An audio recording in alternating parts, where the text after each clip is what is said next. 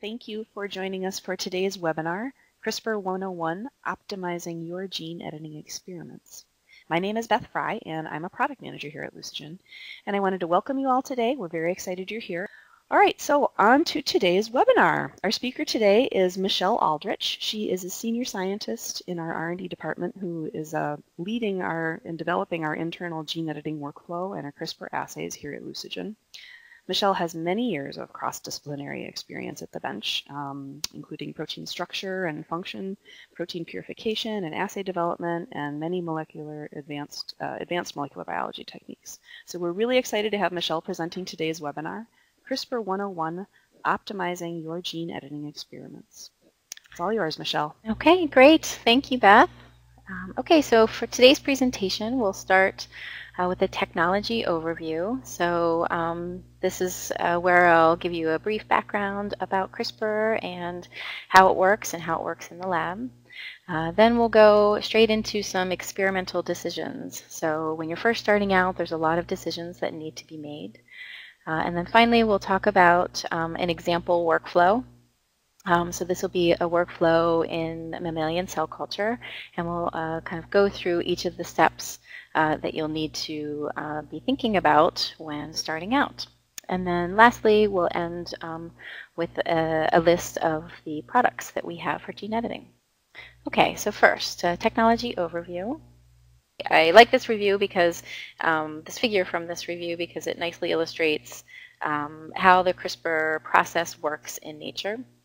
So CRISPR is a form of uh, bacterial adaptive immunity. There are several types of CRISPR-Cas systems. Uh, Cas is CRISPR associated, and that relates to the genes that are uh, within the CRISPR locus. Um, for example, CRISPR, uh, I mean Cas9 uh, is the nuclease uh, and related to the type 2 system, um, whereas CPF1, also known as Cas12a, is the nuclease uh, within the type 5 system. So these are the two uh, nucleases that are most often used in the lab. Um, CRISPR stands for Clustered Regularly Interspaced Short Palindromic Repeats, and um, that is in direct relation to this array of sequences here. Um, so if you look at the different colored rectangles, uh, those are derived from DNA that came from an invading bacteriophage. So when a virus uh, infects a bacteria, it injects its DNA, and fragments of that DNA are inserted into the CRISPR array. And then interspaced between what's called those spacers is actually a repeat sequence, and that's shown um, with the uh, brown diamonds. This CRISPR array is then processed into CRISPR RNA, um, and that, along with the tracer RNA, makes up the guide um, that binds to Cas9. So this figure is actually a depiction of the type 2 system. So Cas9 is the nuclease. So when Cas9 binds its guide, it is now um, armed and ready to interfere with subsequent infections um, by uh, performing a site-specific cleavage of incoming foreign DNA. So since uh, 2012, when that mechanism was um, worked out, it was realized and, and showed that um, you can take CRISPR out of bacteria and use it in other organisms for gene editing. So since that point, uh, it has been used in uh, things like trait development. So this would be trait development in livestock uh, or crop improvement in uh, plants like uh, wheat and rice, um, as well as corn. Uh, for disease modeling, uh, so in cell culture and uh, in model organisms like mice, and in industrial biotechnology for the um, engineering of specialized microbes to make enzymes, for example, um, or in pathway engineering to make um, unique biochemicals, and finally in drug discovery. Okay, so how does an engineered CRISPR system work? Um, there are three necessary components in a CRISPR system. Uh, first, the nuclease. Uh, this would be the RNA-guided endonuclease, or RGen, and examples of RGens are uh, Cas9 and CPF1. You also need a guide, so this is uh, a short RNA sequence or sequences that forms a ribonucleoprotein uh, or RNP complex with the RGen. Um, and you'll need a target. So this would be the DNA sequence that's complementary to the portion of the guide RNA and contains what's called a protospacer adjacent motif, or PAM site, on the non-target strand. Um, and that'll become a little bit more clear in this next slide. So this is the Cas9 configuration, and it, um, depicts uh, how exactly the guide RNA finds the target DNA. So the uh, target DNA is shown uh, with these gray boxes and this bubble here. Um, there are uh, two strands or the target strand and the non-target strand. So the target strand is the strand that um, has a sequence that's complementary to the guide sequence. So this would be the CRISPR RNA. Uh, in Cas9, the guide sequence is uh, made up of the CRISPR RNA and the uh, tracer RNA, which is shown here. The tracer RNA uh, forms a scaffolding uh, for um, the right kind of binding to Cas9. So finally, as I, mentioned before, um, there is the, another necessary component, the PAM site. So this is 3' to the guide sequence, and it's on the non-target strand. And for Cas9, that sequence, um, the, the Cas9 from Pi uh, Streptococcus pyogenes is NGG. And these red arrows um, show exactly where that um, double-stranded break would occur if Cas9 were to bind its target. Okay, so uh, Cas9 and CPF1 are just nucleases. They cut DNA, but they don't actually edit it. Um, the edits come in when the cell's own DNA repair mechanisms actually try to fix that cut. um, and there are two main uh, repair pathways in cells. One is the non-homologous end joining, or NETJ pathway, and the other is the homology-directed repair, or HDR pathway. So NETJ is um, more efficient than HDR. Um, there are three outcomes um, after, let's say, Cas9 cuts the target and uh, a double-stranded break is um, occurs. Um, the three possible outcomes after that would be a perfect repair or religation, so that would just be um, wild type. Um, but also uh, equally likely are these variable length insertions or deletions. So these are indels. And so that's where the edit comes in. Um, likely the indel will cause some kind of frame shift um, and likely result in the truncation of your gene product. Uh, HDR, on the other hand, is um, less efficient um, but more specific, and that's because um, it uses a repair template, which is shown here.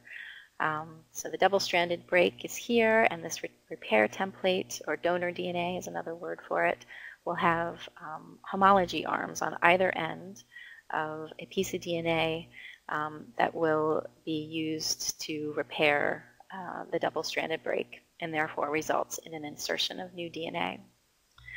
Okay, so we'll next um, talk about some experimental decisions. So when you're starting out, um, there are a number of things you need to think about. Uh, first, what your desired outcome is, um, and from there, uh, the nuclease choice. Uh, there's a few different options that you need to think about for guide, um, and then uh, also how you're going to deliver the CRISPR components. So first we'll talk about desired outcome. Um, so I've divide, uh, divided the, uh, this section into different kinds of outcomes. So you may be interested in getting a loss of function or a gain of function or um, also a genome-wide screen. So first, uh, loss of function.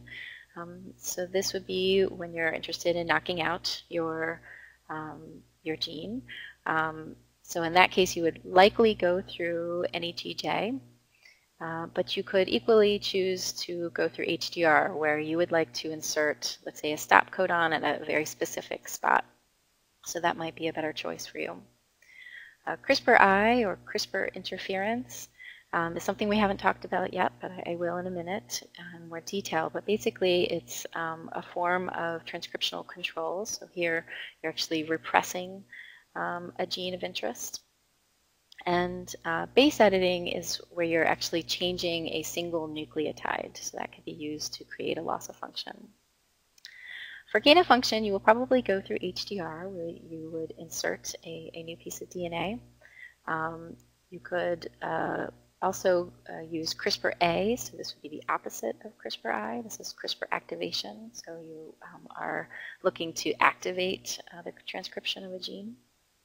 Um, or you could potentially use uh, base editing depending on um, what kind of mutation you're trying to make.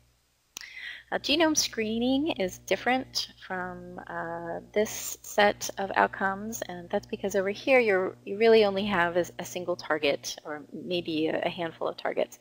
But genome-wide screen is the entire genome. Um, so in this case, it's a, a forward genetic screen where you're not really interested so much and starting with a target, but more starting with the phenotype and then working back to um, the genes that are related to that phenotype. So uh, you may uh, go through NETJ for this, um, but there are also CRISPR-AI um, genome-wide screens. Okay, so let's go into a little bit more detail about genome-wide screens. Uh, so like I said, it's a four genetic screen, um, and you're producing a guide library. And so this library could be um, your entire genome, and um, most often there are several guides that would be designed for each gene. Um, they typically are th uh, delivered through lentiviral uh, vectors, so those guides and the, and the um, CRISPR components are delivered on a lentiviral vector, so they are integrated into the genome. The first use of uh, CRISPR um, in a genome-wide screen um, was done with the GECKO library. So this is um, out of the Zhang lab, and GECKO is genome scale CRISPR knockout. Um, and this is a figure from that uh, first paper that um, is a nice depiction of how that process works.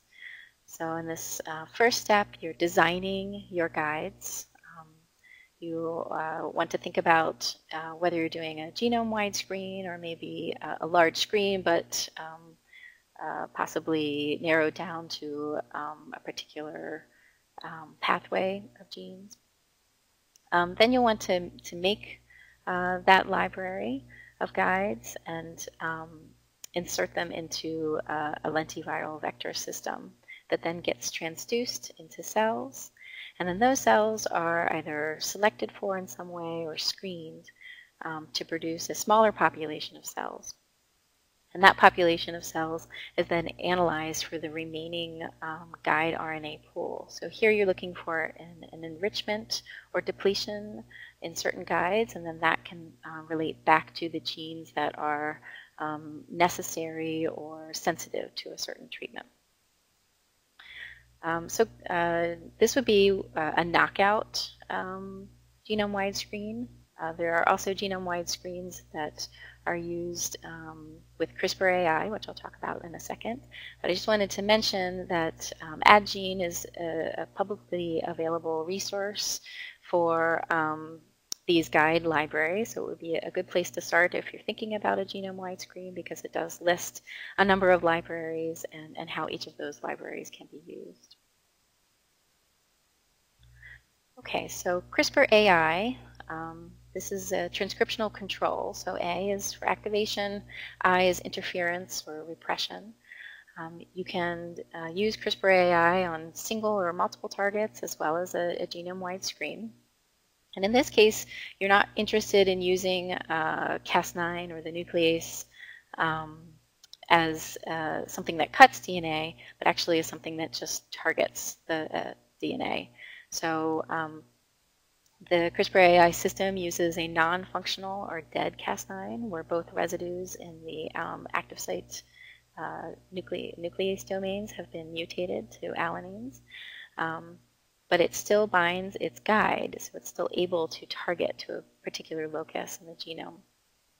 So uh, that Cas9 could then be um, fused to an effector domain, and that effector domain could either be a repressor or an activator. Um, there are a, a, number of different repressors and activators that are used. Um, I won't go through them all, but I'll just um, mention that uh, these last three activators um, were designed to really boost that activation signal. So they're uh, each a different way of bringing multiple um, activators to one locus. Okay, and finally, the, the last uh, little desired outcome that we'll talk about is base editing. Um, so base editing is uh, a really cool um, use of the CRISPR system. Um, so in this case, you're actually changing just a single nucleotide. So um, in the first example, you can make a, a CG base pair into a TA, TA base pair. Um, there are multiple versions of base editors. Um, this figure shows the, the very first uh, version. So it works similar to CRISPR AI in that um, you're using a dead Cas9 in this case, and it's fused to a deaminase.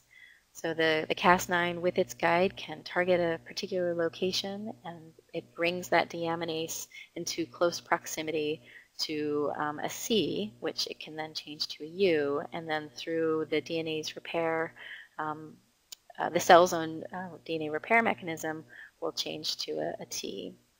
So you effectively get this CG to TA conversion.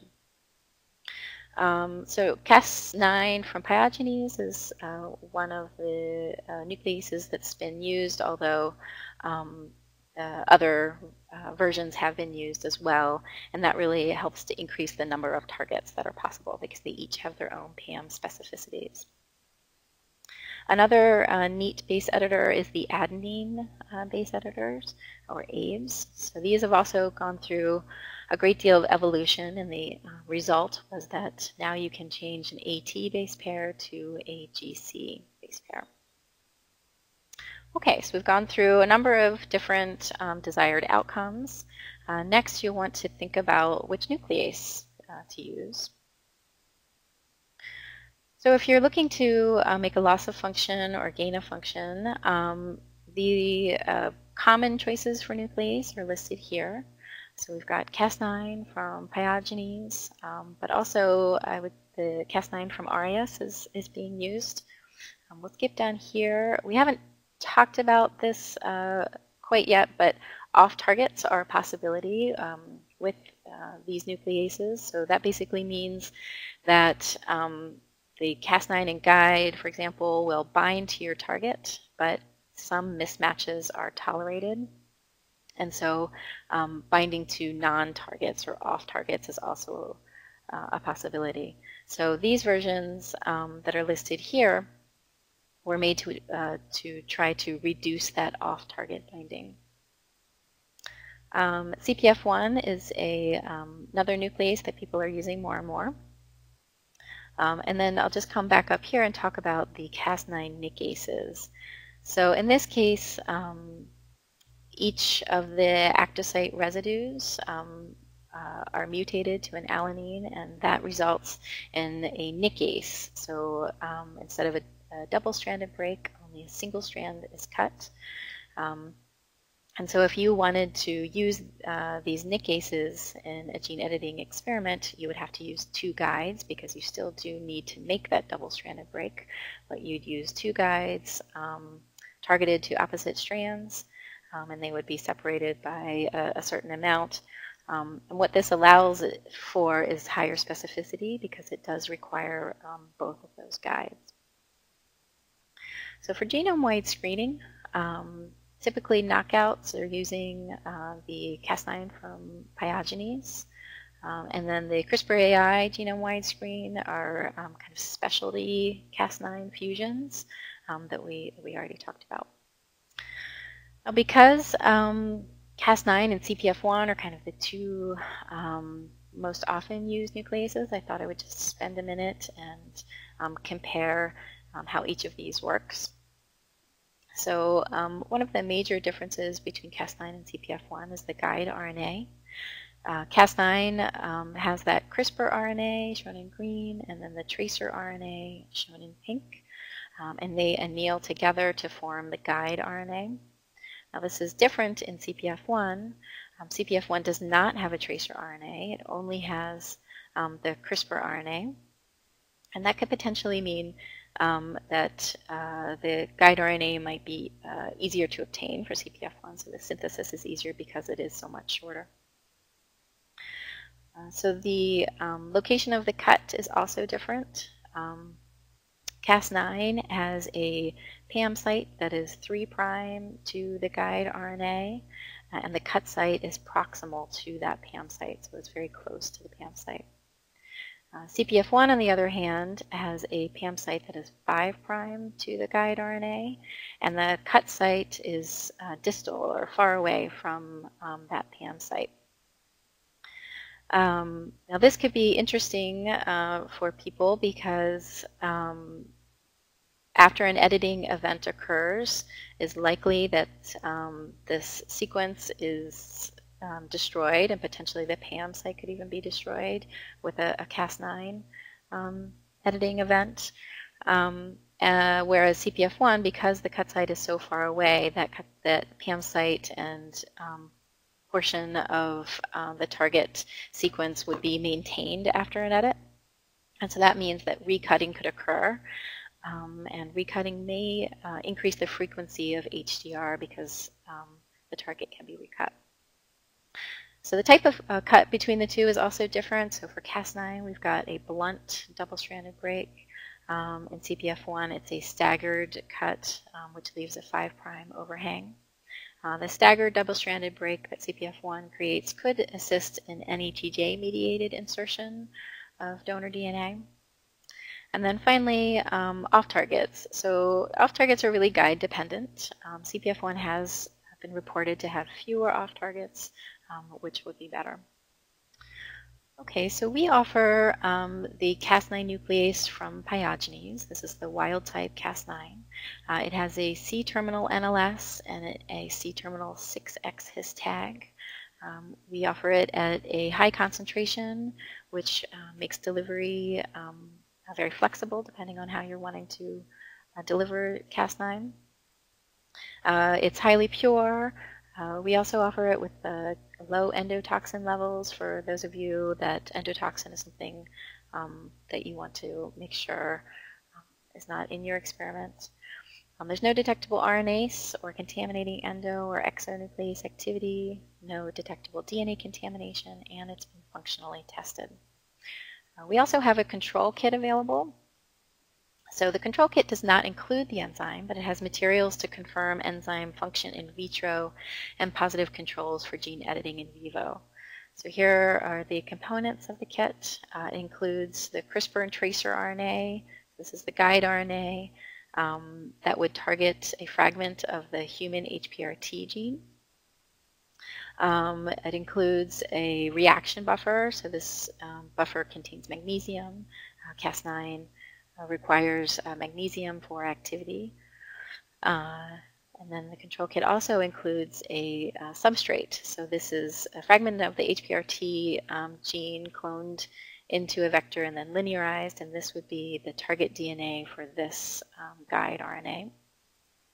And then finally, we have some control primers um, that if you were to use this guide in vivo, um, you could use those primers to amplify uh, the target region. So here we just have checks um, so that you can tell which of the components you'd actually need in vitro and which you would use in vivo. Uh, you could supply your own CRISPR RNA for in vitro guide screening, um, but if you did that, you would need to also have your own uh, target to be used in those. But if you did that, you would need to also have your own uh, target to be used in those assays. Um, the uh, HPRT CRISPR tracer RNA and the PCR primers are great for experimental verification. So I would highly recommend using something like this when you're just starting out because um, you want to be able to verify that your uh, workflow is working with um, some good positive controls.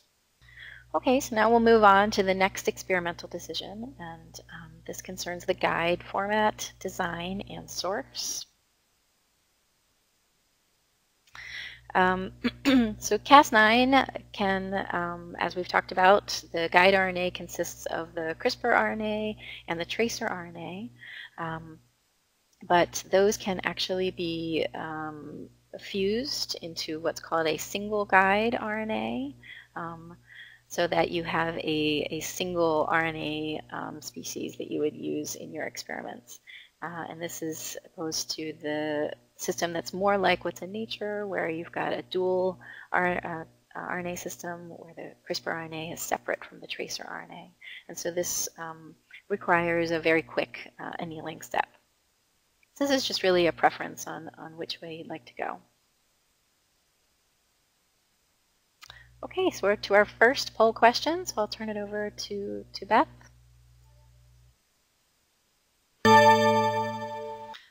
Okay, thank you, Michelle. So this is just a quick poll. We're just wondering uh, if you can tell us what kind of guide RNA you're using or planning to use. As Michelle said, there are a couple of different options here. There's single guide RNA and dual guide RNA. Um, perhaps you're using both single and dual for different experiments.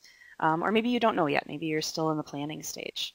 Um, looks like there are some people that are still in the planning stage and don't exactly, haven't, haven't figured that part out yet. Um, but a lot of single guide RNAs there as well. Okay, we'll go ahead and stop the poll now. Hopefully everyone had a chance to vote. Thank you very much, and we will um, continue on with the webinar. Okay, great. All right, we'll just jump right back in and continue with our experimental decisions. So here we're talking about guide design. Um, so I've mentioned a few times about off targets. So um, what that means is uh, that mismatches are sometimes tolerated and that can lead to off-target editing. So uh, here we're back looking at our Cas9 picture and um, we are uh, looking at how the CRISPR RNA is um, complementary to the target strand of the target um, but really there's a, a, particular region called the seed region, and that's what's closest to the PAM, where mismatches are uh, less tolerated. But out here, um, mismatches can occur. And so what that means is that Cas9 and its guide can bind to unintended sites and cleave there. Um, and then that the cell's DNA repair machinery would fix that site as well, but potentially um, an edit would uh, result. So what this means for you is that you have to be very careful when designing your guide. But luckily, there are lots of online resources. So I just have um, a number of resources uh, listed here. Um, most of these uh, kinds of sites will give an on-target and an off-target score. However, a few sites do like a combined score. Um, and basically, that's just telling you um, which is the, if you have a list of, of potential guides, which guide would be the best one to use based on on-target um, efficiency and the uh, lack of off-target sites. Um, I really like the ones that also give um, sequence information uh, related to those off-targets. So those are uh, pointed out with the asterisks. And I think that's important because let's say you've chosen a guide, but you do realize that there's a potential off-target site, um, uh, that's a, a possibility. Um, so you'll want to actually go, after you've done your experiment, check to see if that off-target was edited in vivo. Um, because even though it was predicted, it doesn't necessarily mean that it will um, happen in vivo. So you want to go back and check that, and you will need the sequence information to do that. So here are a few general guidelines um, for guide design. in the blue box, I have um, pictured how our um, control CRISPR RNA that comes in the Cas9 control kit uh, binds to its target. Um, so here is the HPRT target DNA. Um, the target strand is complementary to the uh, CRISPR RNA. Um, the PAM site is in the non-target strand. So first you'll want to ensure that the CRISPR RNA sequence is complementary to the target DNA sequence. Um, the NGG PAM, in this case we're talking about Cas9, so the NGG PAM site is located on the non-target strand and it is directly 3' to the CRISPR sequence, but it is not contained within the CRISPR RNA sequence. So that's a very important uh, point to remember. It is actually not within the guide. Uh, there are a couple of different sources for guides. Um, so uh, in vitro transcription is one, synthesis is another, um, and actually cloning your guide is, is another choice. Uh, in vitro transcription is um, very cheap and you can um, make large quantities of it, um, but it does have some hands-on time required. Uh, synthesis is probably the least hands-on time and it does provide high purity um, RNA, but it is the most expensive option. And then finally, you could clone your guide, which um, may uh, be the cheapest option available, um, but this really limits you to the DNA delivery method, and it is also time consuming. So if you do decide to go the in vitro transcription route, um, we offer uh, the AmpliScribe T7 Flash transcription kit, which would be very good for guide RNA synthesis.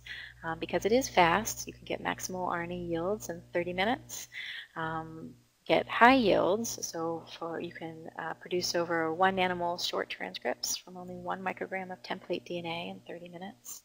Uh, it's flexible as long as you have that T7 promoter. Um, you could use any number of different kinds of um, templates. It's also scalable, so if you're interested in producing a lot of one guide, this may be the way to go. Uh, so this table over here is um, showing the yields produced um, uh, as, as it relates to the size of the RNA transcript. Um, and here's the size that um, you would be looking at if you were using this kit to make guide RNA. Um, so uh, making um, guide RNA with the AmpliScribe kit would look something like this. Um, so in this case, we're making single guide RNA. So this would be for Cas9.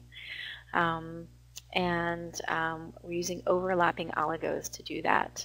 So one oligo uh, will need to contain the T7 promoter.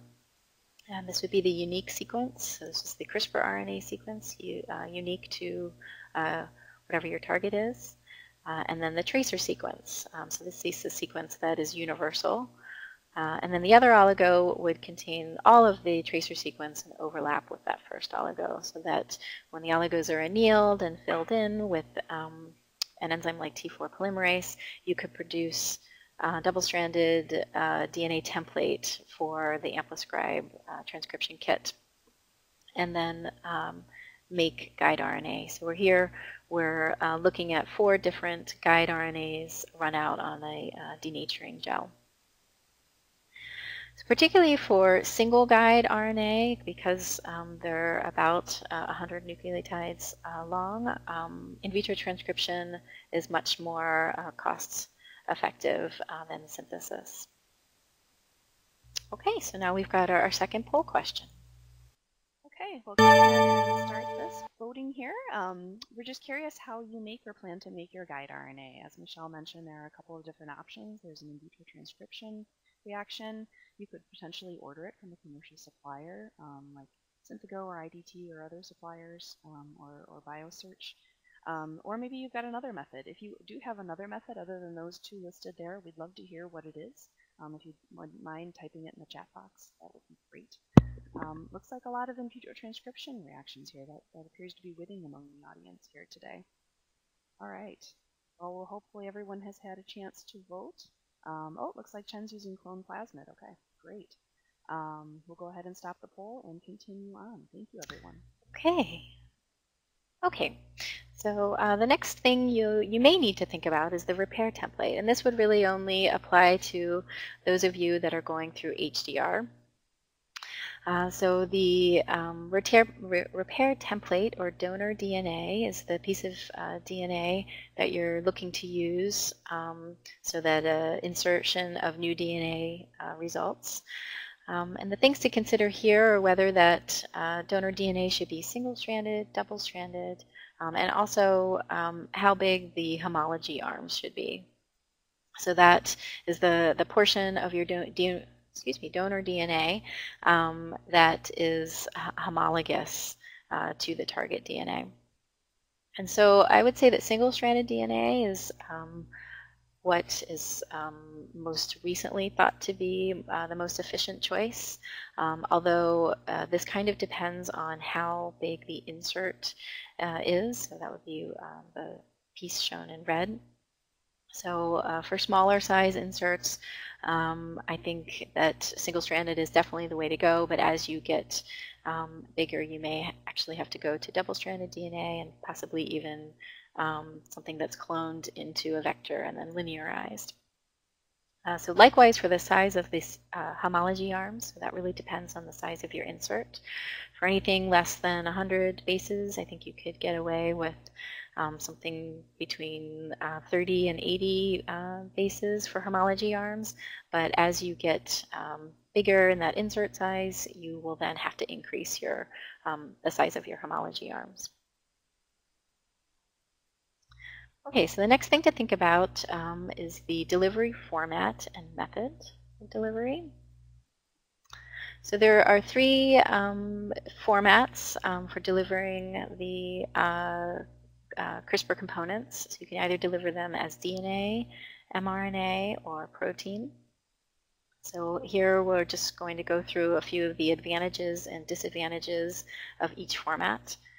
So DNA is the cheapest method. Uh, you could use standard DNA transfection or viral transduction uh, methods. It's good for hard to transfect um, cell lines, but you will likely notice a lag in expression. Um, and the expression is not easily regulated. Uh, also, the DNA will probably randomly integrate into the genome. Um, and therefore has uh, this uh, format has higher off-target effects, which you really want to avoid. Uh, mRNA is cheap. You can generate uh, the RNA via IVT. Uh, you could use standard RNA transfection or micro um, injection methods for delivery. Um, it also does not integrate, so it's footprint free. So that's good. Um, there will be some lag in peak expression, and it is more expensive than DNA. And finally, protein. Uh, so protein allows for controlled delivery levels. So you can uh, choose to deliver um, different concentrations of an RNP to, to control the level that is delivered. Um, it is active immediately after delivery. Um, it uh, degrades uh, fast, so you reduce the off-target effects. Does not integrate, so it's also footprint-free. Uh, there are many options for delivery, um, and your workflow will uh, be very speedy because there is no cloning step. Um, however, um, there may be lower delivery efficiencies in hard to transfect um, cell, lines, cell lines, and um, it is the most expensive option. But I think more and more um, people are using the uh, protein or RNP uh, delivery um, format because of the decreased off-target effects. So your delivery uh, method really depends on the system that you're working in. So if you're working in cell culture, then you have a number of options, um, lipid-based transfection, um, electroporation, or uh, DNA delivery via viral transduction. Uh, in plants, uh, DNA delivery is typically done via agrobacterium transformation. Um, although you could also deliver components via particle bombardment. So if you are interested in reducing those off targets, this is a possibility in plants as well through RNP delivery. Um, with embryos, uh, a typical um, delivery method uh, is via microinjection. Okay, next we're going to go through a gene editing workflow example so you can exa uh, see exactly how this uh, might look when you go to do your first experiments. So in this example, um, we'll be uh, performing uh, a knockout via NETJ, and this will be in a mammalian cell culture system. Uh, we'll be using the CRISPR-Craft Cas9 nuclease, uh, a single guide format made with the AmpliScribe kit, um, so be an RNP delivery via lipid-based transfection. And then finally, uh, we'll use uh, an EMC assay um, with T71 as the detection method. Okay, so this is an overview of that workflow um, with the basic steps listed here. So first, you'll want to combine um, your nuclease, in this case Cas9, um, with the guide to make that RNP complex. Uh, the RNP complex is incubated with cells for a certain amount of time. So this is typically anywhere from 24 to 72 hours. Following that incubation period, period you will want to um, harvest and extract uh, genomic DNA. Um, and then you'll want to analyze the uh, transfected cell pool for the presence of those um, edited cells. So you may stop here because as you're first starting out, you just want to see if your experiment is working. Um, or you may continue. Uh, you could sort and select those edited cells. Um, likely, eventually, you'll want to isolate a clonal population. And in that case, um, you will have to, uh, following isolation, go back and, and reanalyze to see um, what uh, edits are present. Uh, so this workflow seems nice and straightforward, but there are a couple of steps that do require optimization. Um, those optimizations are um, iterative, meaning uh, you may actually um, be optimizing one step, but then needing to go back and re-optimize a, a, different step. So you may actually want to go through to detection um, and optimize that, make sure you've got a good detection method, and then go back and um, optimize your delivery format um, and method. So um, they may the optimizations may not go in the exact order of the workflow, but just for um, simplicity, uh, that's the order that I'm going to go through. Um, so we'll we'll go through each of those optimizations next. So first, optimizing RNP delivery with a lipid-based reagent. So there are a few critical optimizations uh, that um, you'll need to do. First, you have to choose a transfection reagent. We really like Miras's TransitX2, um, but we've also had success with RNA Max from Thermo. So you want to optimize the transfection reagent volume, the RNP concentration, and the nuclease to guide ratio. Uh, so uh, depending on what you have chosen here, um, with the RNP concentration and the nuclease to guide ratio may change the reagent volume that you will be using. So we would recommend that you do some kind of matrix um, so that you will get the best possible outcome. So nuclease to guide ratio, I mean, you, you definitely want a one-to-one -one ratio at least. Some people prefer to um, boost the guide um, in their experiments just to ensure that every nuclease does have a guide. So uh, that's a, a, possibility, but I, I do caution that this could change um, the transfection reagent volume that you need. Other potential optimizations would be cell number at time of transfection and incubation time following transfection, but these are, are not quite as critical. Okay, so we're to our next poll question. Okay, thank you, Michelle. And uh, this time we would like to know how you or how you plan to deliver your CRISPR components to cells. Um, is it through RNP complex? Are you doing mRNA delivery? Are you doing plasmid or DNA delivery? Maybe you have another method uh, that, that we uh, haven't listed above. Or maybe you're doing uh, completely in vitro reactions and you don't need to deliver your CRISPR complex to cells at all. Maybe this is totally um, uh, all in vitro for you. So looks like RNP and DNA delivery are uh, the winners thus far in our audience today. Okay, um, great. All right. Thank you. We'll go ahead and close the poll. Okay, we'll just jump right back into optimization. So in this um, workflow example, um, we're using the endonuclease mismatch cleavage assay or EMC assay for detection, but there are a number of other um, mutation detection assays that can be used. Um, many of them uh, share the need for a PCR step, so it's very important that you optimize that PCR step. Um, so other detection methods requiring PCR are next-gen sequencing, gel electrophoresis, um, tide analysis, um, IDAA, and restriction fragment length polymorphism. Um, I can't go into detail with all of these. This would be a, a webinar in and of itself, but um, just know that each of these does require PCR. So it will be important to um, produce a nice, clean uh, PCR product of your uh, target site. Uh, one way that you could do that is using the failsafe PCR system. Um, so this is a collection of PCR buffers uh, that we provide. I believe there's 12 A through L different buffer systems that you can uh, screen to see which one works the best for your particular amplicon.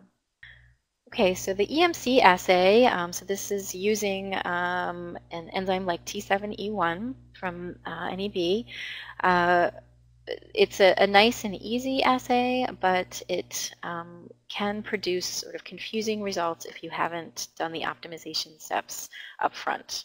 So just a, a few guidelines here. You'll want um, the amplicon size to be anywhere between 700 base pairs and 1 kb. You definitely need that um, optimized PCR product because you want a single amplicon.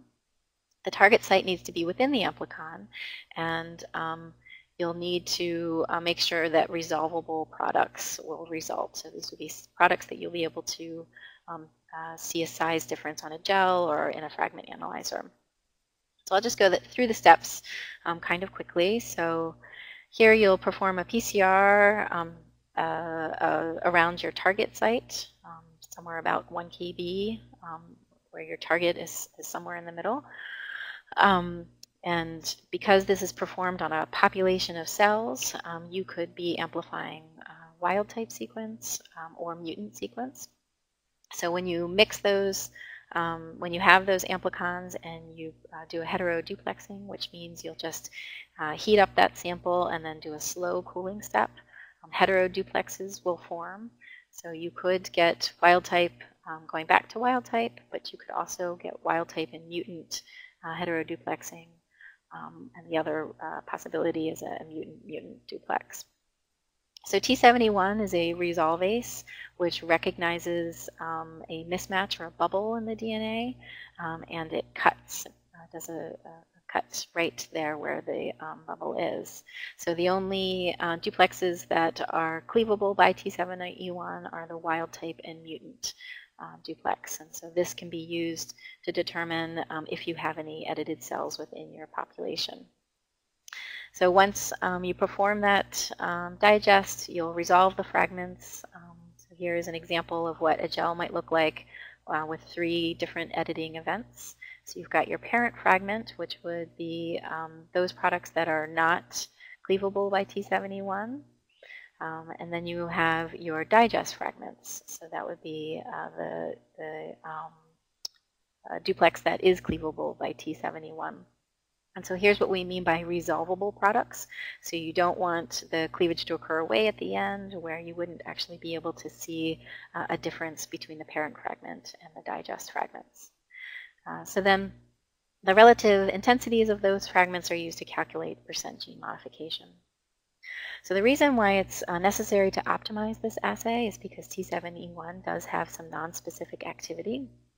Uh, it's easy to over-digest your sample um, by incubating for too long or using too much T71 or too little DNA.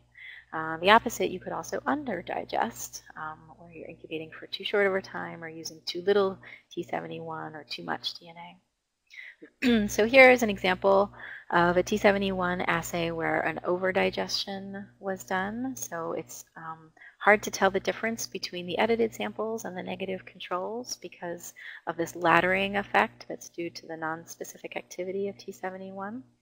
Whereas if you took the time to really make sure you had the appropriate DNA to T71 ratio and incubation time, it's easy to tell the difference between your edited samples and your negative control. Uh, and here that uh, clear with this experiment where we had a known amount of wild type and mutant um, amplicon and a heteroduplex. So it's the one-to-one -one ratio. So um, the uh, theoretical possibility, uh, theoretical result should be that 50% uh, um, would result in uh, cleavage. Um, so here, when you have too much DNA and not enough incubation time, you're only reaching about, uh, I don't know, 25%.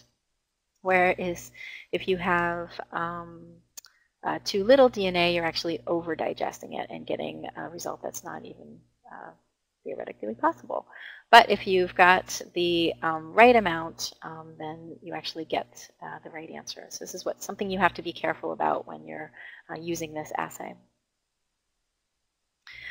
Okay, so um, I did want to just take a minute to say that the failsafe PCR system buffers are compatible with T71. So this is a similar experiment in which a known ratio of wild type to mutant was used, and then the, um, the failsafe PCR buffers were used in a T7E1 assay um, and compared to uh, uh, the assay that would have a, the fusion buffer, the HF uh, buffer in it, and you can see there's really no difference in any. So that, um, those system buffers are compatible with T71. Okay, so we're to our next poll question.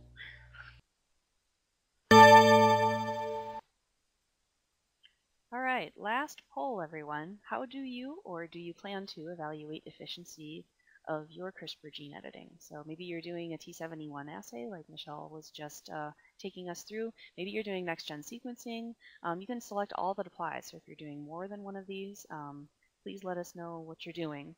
Um, maybe you're doing an in vitro cleavage assay, or maybe you've done something that, or, or are planning on doing something we haven't listed here. Or maybe you're just not planning on checking efficiency at all. Uh, that could be too. So let us know what you're doing. It looks like a lot of people are doing T7E1, next gen, and Sanger sequencing. So great. Okay. Thank you so much, guys, for participating in our poll. Okay, so now we're it. back to that We'll workflow example. We've gone the through the now and optimization steps, uh, uh, finish up the and we're ready to just quickly run through a bunch of experiments. Um, so the, the next slide I'll show is really just starting here um, and analyzing that transfected cell pool um, for the presence of edits in, in a very high throughput way. So uh, a nice way to um, do that in a high throughput manner is to use quick extract um, because it it's very fast. It also provides PCR ready DNA. Um, so your workflow would then look something like this. So after you have um, uh, performed your transfection and uh, waited the incubation period, you'll want to harvest and lyse your cells using the quick extract solution. Um, there's a, a, quick heating uh, step required, and then you have DNA that's uh, ready to um, go into a PCR. Um, you may want to check your PCR uh, to determine that your uh, target amplicon is uh, a single and, and clean band. Um, but then you can uh, quickly go into uh, a T7E1 assay um, directly with those PCR products. Uh, so then you can start to uh, just build experiments. So especially when you're first beginning, um, you may want to uh, compare different guides or uh, do a nuclease titration or um, look at uh, various transfection reagents or uh, optimize that transfection reagent that you've chosen. So with this workflow, you can quickly run through those is that transfection reagent that you've chosen. So with this workflow, you can quickly run through those experiments. Okay, uh, just end with a list of the products that we've talked about throughout um, the presentation. Uh, so these are the products that uh, we offer. Um, we are the sole provider of the Epicenter products as well. Uh, so we have a CPF1 for custom order. Our CRISPR-Craft nuclease is now available as well as its control kit. Um, and the AmpliScribe transcription kit for guide RNA synthesis is great. Um, we have a few flavors of the quick extract um, for genomic DNA production, uh, as well as uh, fail-safe uh, PCR systems um, if you're using a PCR-based muta mutation detection. And then finally, um, we do have um, competent cells for lentiviral guide library generation. So these are our Endura cells, um, and they can be used um, to make that guide RNA library for genome-wide screens. Okay, I'll end there and uh, thank everyone for listening and hand it back over to Beth.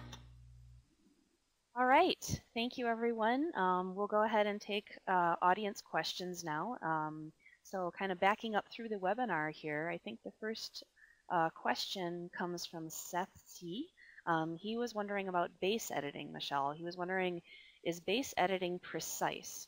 Does does it not? Um, so the first uh, iterations of the base editors um, had a larger window. So I would say if you had um, a couple of Cs in that target uh, site, then yes, they could uh, be edited. I think that uh, there have been more evolution of those base editors, and they've really tried to narrow um, that window. Um, but still, if you had you know, two Cs right next to each other, there is potential um, for editing both of those.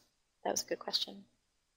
Okay. Um, and then the second question. Uh, you can um, detect them um, in a couple of different ways. So if you have an idea of what those off targets are, so let's say you used uh, one of those guide online design, uh, design tools for guides, um, and that will give you the sequence information of potential off targets. You could then uh, amplify the off-target site and use some kind of detection method, whether it's a T7E1 based method or Amplicon-seq uh, or something like that. Um, that is one way to detect them. If you want to um, actually detect the off targets yourself without um, any of the prediction tools, there are other methods out there. Um, SiteSeq is one. Uh, that's a good one. Uh, there's a there's a number of different detection methods in that case. Okay, great. Um, another question comes from Susan. She's wondering about whether or not CRISPR technology works in bacteria. Uh, she notes that the enzymes are, are prokaryotic in origin, but that there is some evidence that the technology might be hmm. more challenging. Yeah, that's a good question. Um, yes, I, I, do think that it can systems. be used um, in uh, bacteria. I think that um, it's typically used in combination with the lambda red recombination system. Um, so I would probably encourage Susan to look at um, papers out of the Gill lab. I think that would be a great resource for her. Okay, great. Thank you. Hopefully uh, you're still listening and, and noted that, um, Susan. And then uh, Chen asks if we perform, uh, I think this is in reference to the mutation detection assay or the T71 assay, if we perform uh, our GPCR using raw or purified genomic DNA, and I think that probably means um, lysate. Uh, so we uh, use the genomic DNA that comes out of the quick extract um, solution uh, uh, workflow. So that is, um, it is, um, I wouldn't necessarily call it purified. So there's no like column step or anything like that. It really just lyses um, the cells and um, provides you the kind of genomic DNA that you could use in going into a PCR.